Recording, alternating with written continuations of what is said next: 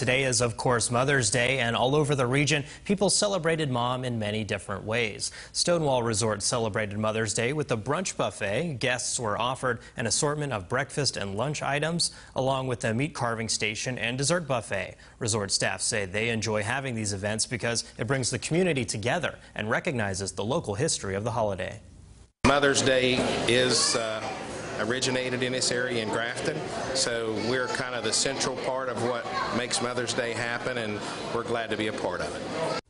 Stonewall Resort will also host a Father's Day brunch on June 16th. Reservations for that are required.